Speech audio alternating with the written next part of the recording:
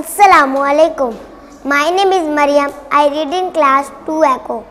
Today my topic is today my topic is means of transport.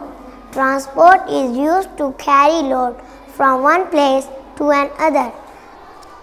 Today I will tell you about new means of transport and old means of transport.